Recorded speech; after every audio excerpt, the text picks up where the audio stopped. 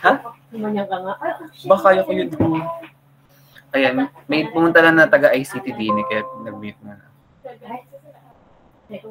Ayan. So, yung ating first topic for uh, ME Lab 2 is the internal combustion engine. so, ito ay recap lang din. Kasi ito ay na-discuss na din naman ninyo sa inyong um, combustion. Yan. So, for uh, the definition of the heat engine, it is a device which transforms the chemical energy of a fuel into thermal energy and uses this energy to produce the mechanical work.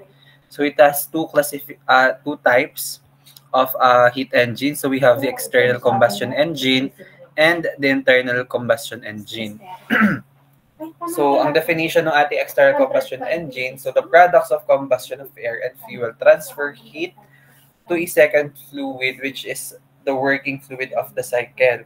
So yung mga example natin dito is the steam engine or yung steam turbine plant. So this is uh, the heat of combustion is employed to generate steam which is used in piston engine. So it's either reciprocating or yung rotary type. And then it is uh, in a closed cycle gas turbine, the heat of the combustion in an internal furnace is transferred to gas, usually air, which uh, the working fluid of the cycle. And then yung internal combustion en- engine naman natin, um, take place inside the cylinder and are used as the direct motive force. So usually yung external combustion engine naman natin is outside the cylinder. And then we have different um, types according to different usage ng ating um, internal combustion engine. Ano? So nandito siya. Yan. So meron pa dito yung mga part sa babang part nito na dinidiscuss din yan. So, but for uh, now, tingnan natin yung comparison nung ating external combustion engine at saka nung ating internal combustion engine. Ayan. So, ang comparison natin dito is external combustion engine. Uh, it is outside the engine cylinder. While dito naman, sige.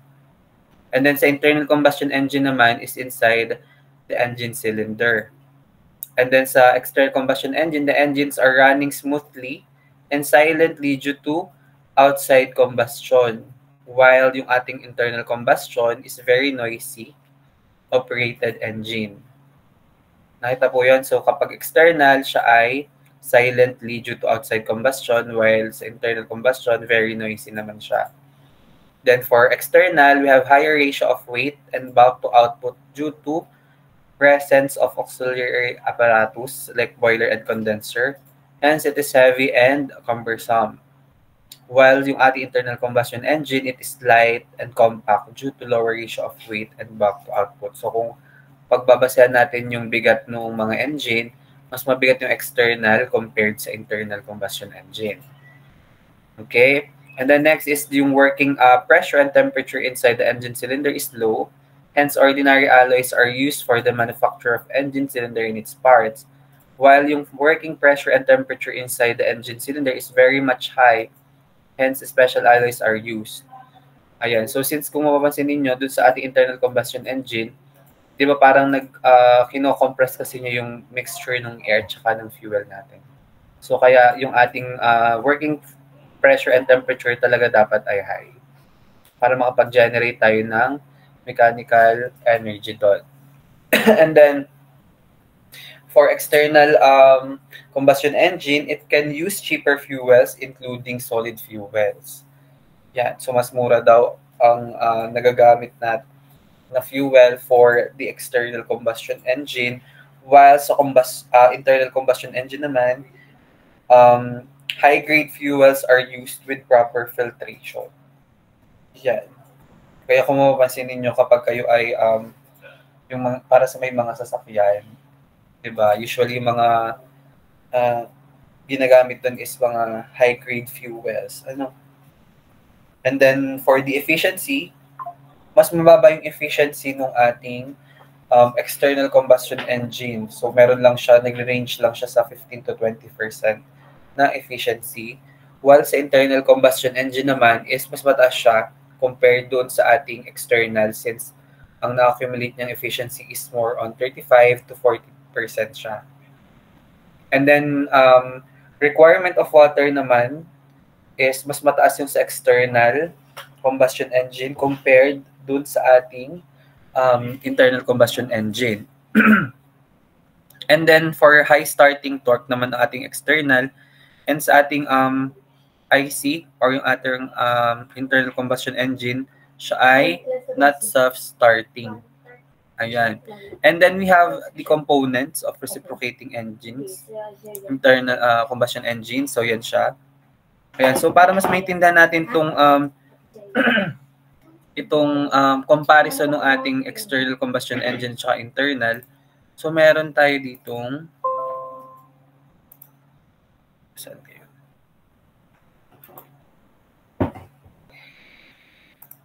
Ayan, meron tayo ditong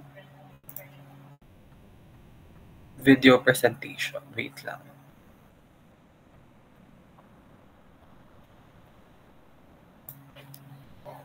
Parang mas nakakaantok yung part na pagpapanakot ng ganito. Wait lang guys.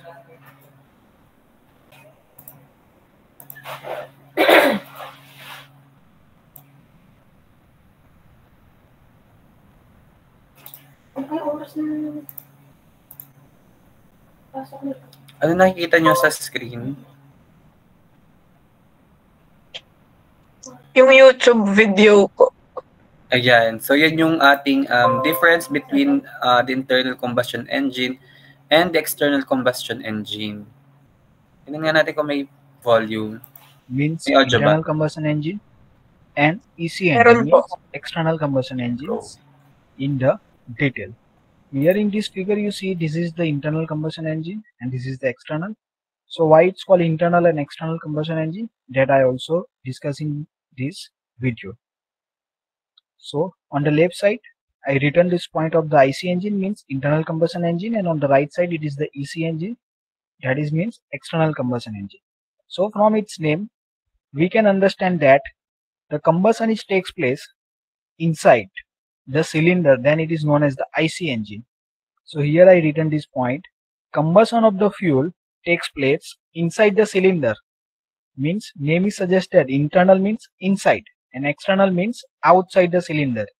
Means it is the depend on the process of combustion. If combustion is takes place inside the cylinder then it is known as the IC engine. And combustion of the fuel takes place outside the cylinder then it is known as the external combustion engine or in short it is known as the EC engines. So here I show you the figure of IC engine means internal combustion engine. So in a internal combustion engine we use the fuel like a petrol, diesel or gas. Okay and the petrol is supplied with this air. So here the mixing of the sorry combustion of the fuel is takes place and due to this combustion high pressure is created and these high pressure gases is applied the force on this piston and piston is produced sorry piston is rotate this shaft and shaft is produce some work done. So mechanical power is produced by using the IC engines. The hot gases are subsequently expand to develop the mechanical power means the combustion gases expand. Okay then we produce the some mechanical power on the shafts. And it is generally used in our bike and car and different transportation devices because its size is compact compared to the external engines. So external engine is right now not is used in a, any automobiles vehicles. In earlier case, the IC engine is used in the locomotive trains. So in a 40 to 50 years back, the the steam engine is used into the railway to run the train. But now right now in train is run by using this electric engine. That is by using the electric power. So in a train here you see in this figure the combustion is takes place outside the cylinder. So where is the cylinder? This is the cylinder and piston arrangement. Okay. So this energy or heat energy of this combustion gas is supplied to the water and water is converted into the steam and steam is supplied as a fuel inside the cylinder. So combustion is takes place outside the cylinder. This is a cylinder and combustion is takes place here in the furnace and it is known as the external engine. So external combustion engines are not suitable for mobile plants means for a transportation purpose because of these have a heavy and bulky in the size and the IC engine are smaller in size that's why it is used in a our transportation vehicles and different automobiles vehicles. Now before moving ahead I request to like the video and subscribe the channel for watching the more video related to mechanical engineering You also visit the playlist to watch the various subject of mechanical engineering like the elements of mechanical engineering, basic mechanical engineering, IC engines, refrigeration. So you visit that. Ulit. And air conditioning fluid also lots of subject is available. So you visit that. Now? In a IC engine, temperature and pressure is higher inside the cylinder. In a EC engine, temperatures and pressure is lower compared to the IC engine. Now, in an internal combustion engine, the working fuel may be petrol, diesels or various type of the gases. That is already we use in our bike and car. That is petrol, diesels and gases are used. In an external combustion engine, working fuel are steam. Now the steam is produced by using the burning of coal, wood or any another waste. Okay, so main fuel energy use is the coal or a wood and this heat energy of the coal and wood is supplied to the water and water is converted in steam and this steam is supplied inside the cylinder that's why here written the working fluid is a steam it required a less space and external combustion engines required a larger space that we already seen in this uh, image. So in our bike or a car the engine require a small space. But in earlier case that is a steam and external combustion engine is used in a railway or in a trains to run it. Okay. Now external combustion engine right now used in a gas power plant and a steam power plants. Capital cost is relatively low for a internal combustion engine and for external combustion engine capital cost is relatively high now ic engine starting of the engine is easy and quick so as you know that you can start your bike or a car by just moving the key or by giving the accelerator. So it is easily start. So we are not require any more times. But in external combustion engine, it required a more time because the steam is generated by burning of the coal or wood. So it's require lots of time to start it because burning of the coal and woods are take the much time. So it's starting of the engine is required time. Thermal efficiency is high because the combustion is takes place inside the engine. So there is a no loss of thermal energy means less loss of thermal energy compared to the external engines. In external engine, thermal efficiency is low because the combustion is takes place in a different place. Then after this heat energy is transferred inside the cylinder. So losses are increased due to the transportation of the heat energy. So thermal efficiency is lower for external combustion engine. Now power developed per unit weight of this engine is high means power developed by the internal combustion engine is higher compared to the external combustion engines. In external combustion engine, power developed per unit weight of this engine is low. And the last point is fluid cost is relatively high. So which fuel is used in a internal combustion engine? That is the petrol, diesels and gases. So they are costlier. And the fuel used or the fuel cost is relatively low in external combustion engine. So which fuel is used in a external combustion engine? It is a coal, it is a wood or some waste energy is used. So co- cost of the coal and woods are comparatively lower than the petrol diesels that is used in internal combustion engines. So thank you for watching this video. If you learned then like the video, subscribe the channels. Ayan. So, yun yung ating Ayan, yun yung ating ano din, difference between internal and external combustion engine. So parang inulit lang din yung mga diniscuss natin. Ano? Ayan, may question ba kayo?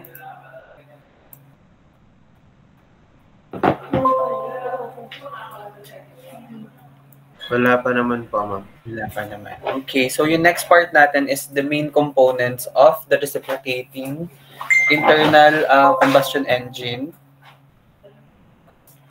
Ayan, so first one is the different, uh, ayan nga, different parts. So first is the cylinder. So cylinder, so ito yung part na to yun. Yan. Parang meron ako din yung video din with respect to this one. Let me check pala.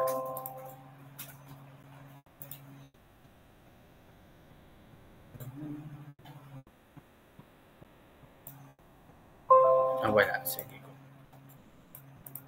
Ayan.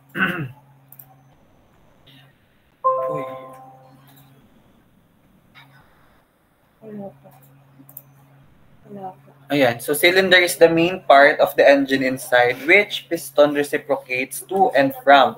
So it should have high strength to withstand high pressure above 50 bar and temperature above 3 at 2000 degrees Celsius. So the ordin- ordinary in- engine is made of cast iron and heavy duty engines are made of steel alloys or aluminum alloys. So in the multi uh, cylinder engine, the cylinders are cast in one block. So, another ano siya, type of uh, cylinder din, ano, which is, natawag natin siya cylinder block. And then, um, yung cylinder natin on this image is itong part na to. Yan. And then for the cylinder head, so the top end of the cylinder is covered by the cylinder head over, which inlet and exhaust valve. So yun, itong part naman na to yun itong taas na to, which is nandito yung ating exhaust valve, yung inlet valve, at saka yung ating spark plug and injectors. So, nandito din yun. Ano? And then, ang ginagamit naman natin dito is uh, copper for asbestos. Uh, is provided between the engine cylinder and the cylinder head to make an airtight joint. So, kailangan natin ng airtight joint since uh, meron tayong ina-achieve dyan na certain pressure para ma-achieve natin or ma-trigger natin yung spark plug natin para magkaroon ng combustion na uh, effect doon. ano, and then next is this the piston. So ito yung moving, moving ano natin, element. So yung piston transmit the force exerted by the burning of charge to the connecting rod. So usually made of al- aluminum alloy which has a good heat conducting property and greater strength at higher temperature. So ito yung ating piston naman natin dito is this one. So ang kanyang uh, motion is itong pataas-baba lang na to. Ayan. And then next is the piston ring. So these are the house these are housed in cir- circumferential grooves provided on the outer surface of the piston. So yun siya, nandito naman siya sa may outer uh, surface ng ating piston. So meron yung piston ring uh, to provide uh, parang airtight lang din siya doon. Ano?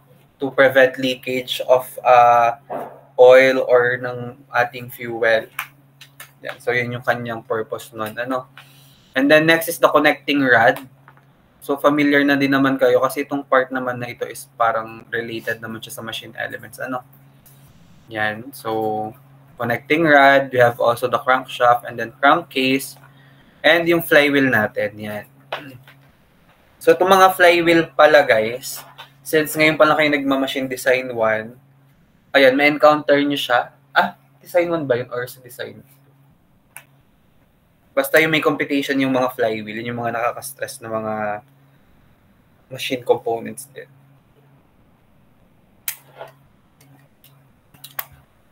So,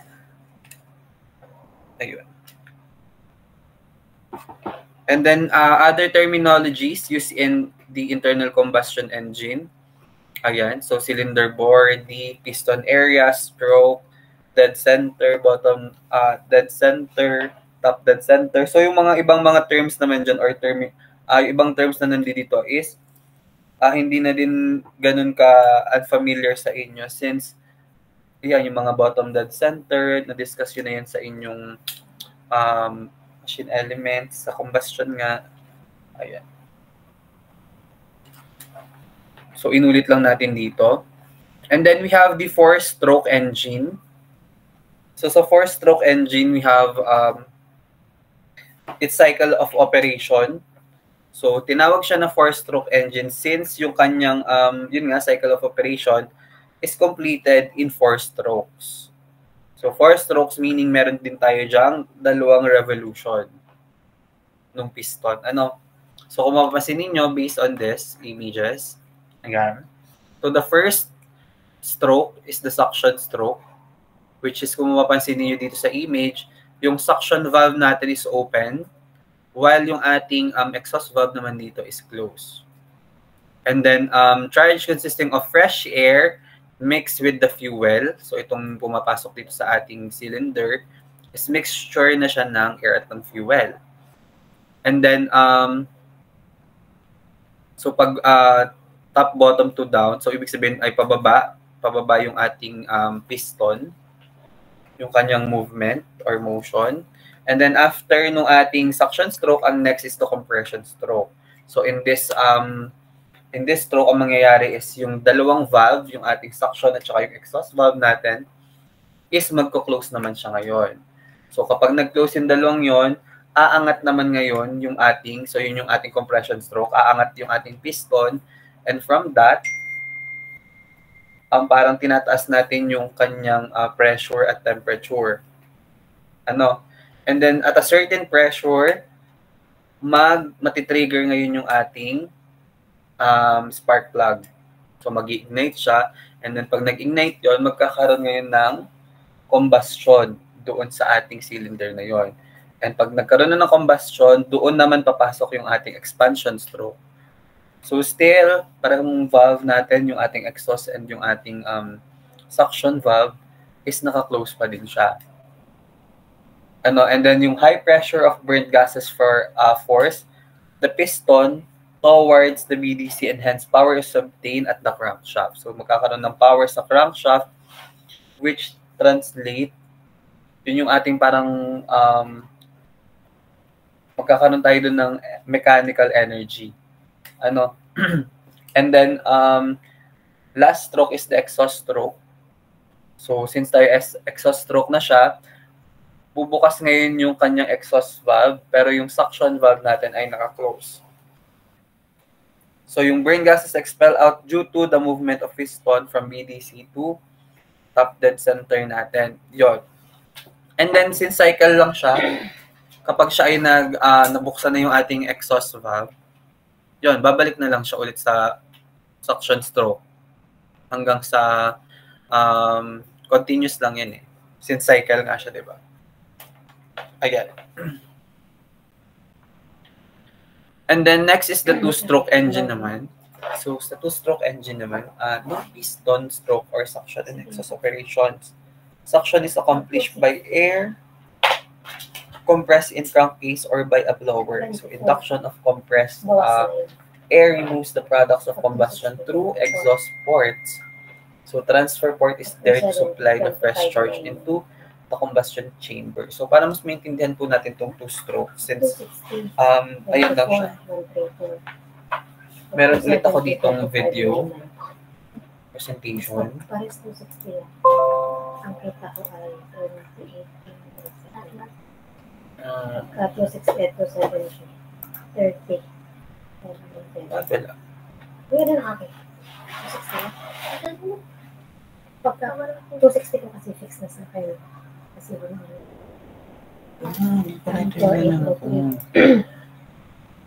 Pagka pares 260, ari. 260 to 70. ari. Ay, hindi pa pala yun dun. Mali yung akin dun. difference ng ng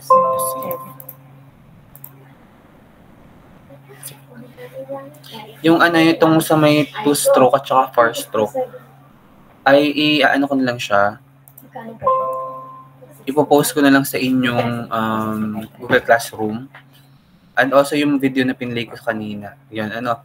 So for now, ito muna nandito, yung listahan.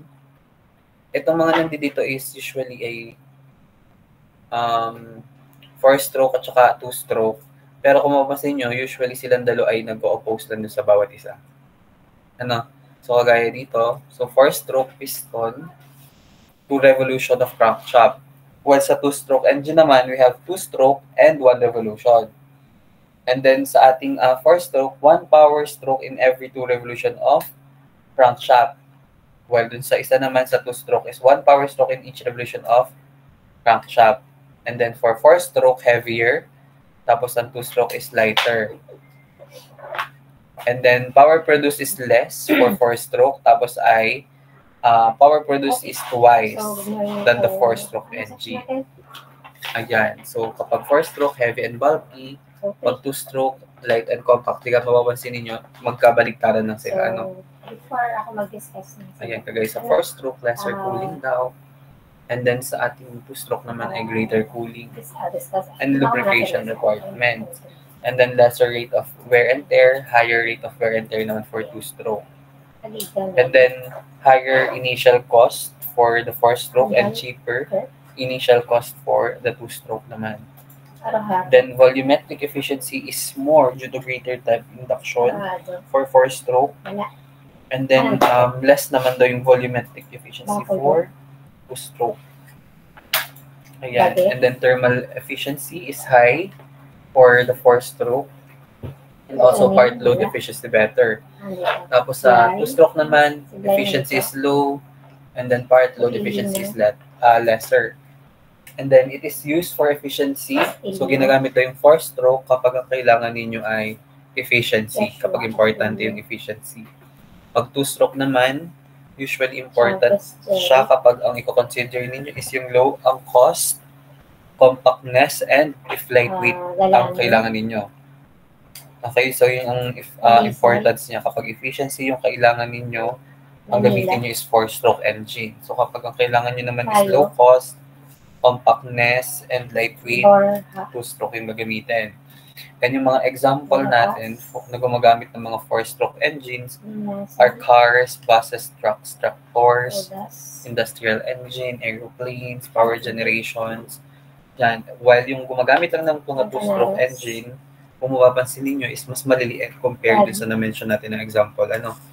So dito is Oh, mga yeah. loan, loan mowers, scooters, Ganda. motorcycles, mopeds, propulsion, Yes. ship, and etc. Ayun, so yun yung uh, difference ng ating four-stroke and yung Ah, ating yeah. two-stroke engines. Ayan. ng labanan. And then um, we also have the. SI engine and the CI, CI engine. Yung lasa. So for this one, wait, O na.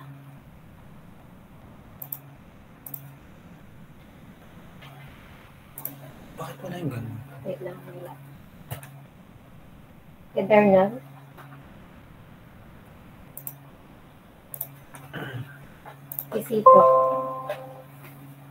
Ayan, so for SI engine, uh, the working cycle is auto cycle Ramos. and CI naman is diesel. So ang ginagamit natin na, um, na fuel for SI is the Ah, ano? petrol or gasoline. Or high octane fuel is used. Diesel or high octane fuel naman is used sa CI engine. So para mas maintindihan natin yung um, comparison nitong dalawa, meron ulit ako dito ng video. Celos. Lakas. Alavera.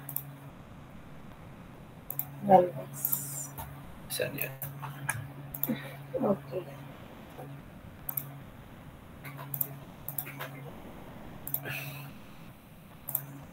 Yeah.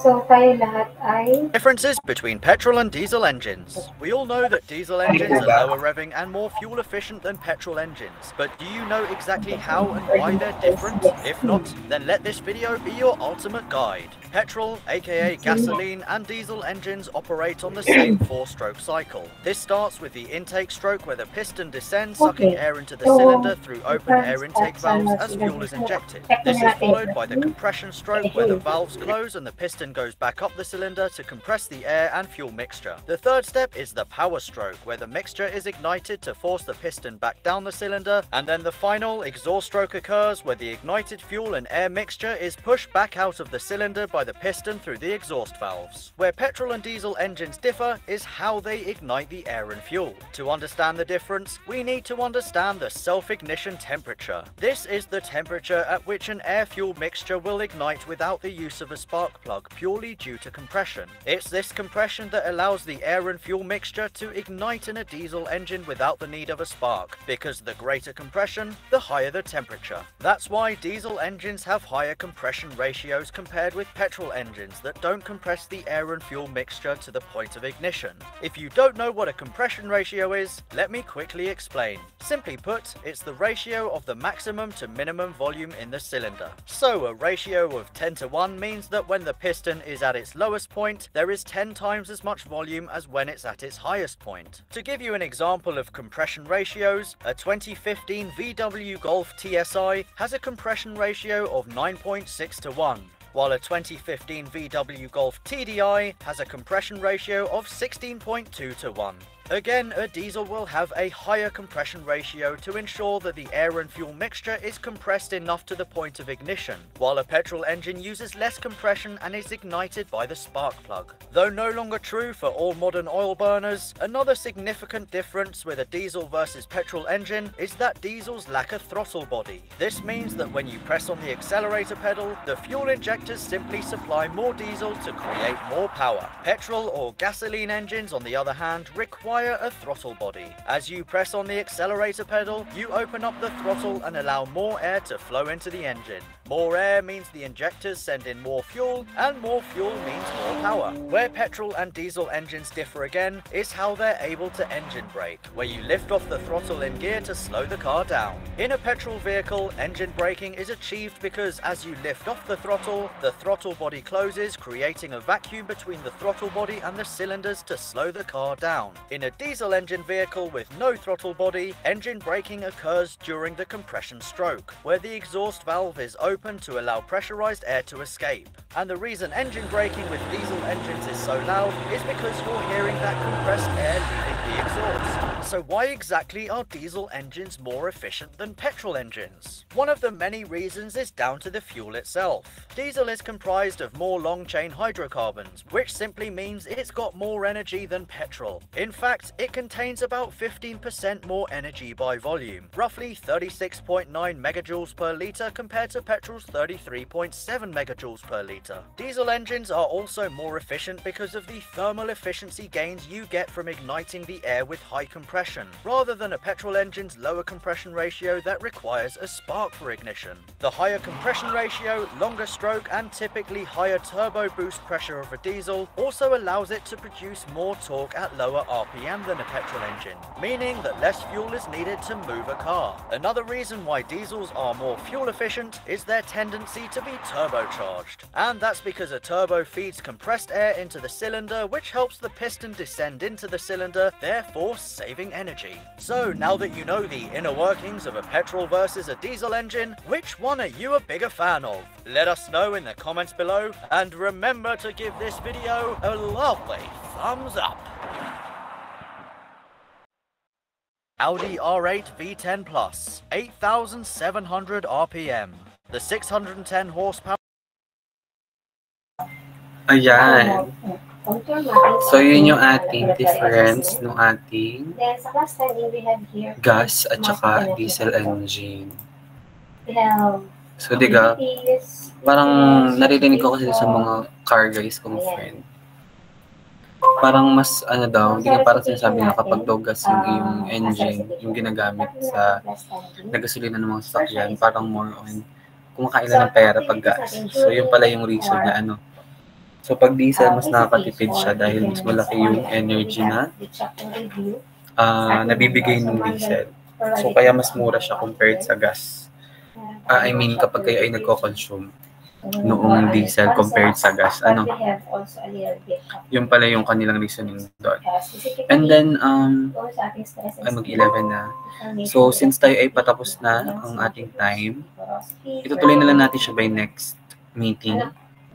Ano, and then yung mga pinreset ko na video is ipopost ko na lang din siya sa inyong Google Classroom para pwede ninyo siyang balikan. Share ko lang, ano, share ko muna. Okay? Doon sa ating drill text, so, konti lang lang. Ayun. So, may question ba kayo? Next, next is the uh, quizzes. So, quizzes. May question? Wala naman po, ma'am. Then also we have recitation. Okay. So, ipopost ko siya, ipopost ko yung mga video. Um, uh, every uh, discussion. So, recite tayo na recite tayo kasi recorded yun. Next. Next natin ay, so, yung activities pala, uh, so, so, uh, pag online, we have uh, live classroom. So, kung hindi makapag-meet si ma'am, kayo naman ay Tuesday. Ayun. So, yun na lang muna for today. May question kayo? Na, hindi makapag-meet dahil kung ano reason. Wala ang naman po. Ay, Activities posted sa classroom. Yes po. at the same time. Ano? So let us say Oh, 10 ano to yun? 1. Wala naman pong question pa po, ma'am. So, hours yung 3. Yung 42 Ayun. So, if wala, di ipopost ko na lang yung video sa inyong Classroom. uh, So, pag may free time kayo, natin, um, please feel free na panoorin Kasi siya. ang Ano? Google Classroom ngayon, hindi tulad dati na. Ayun. So, yun lang naman for today. Thank you, everyone. uh, classwork. Pero ngayon po ay may, uh,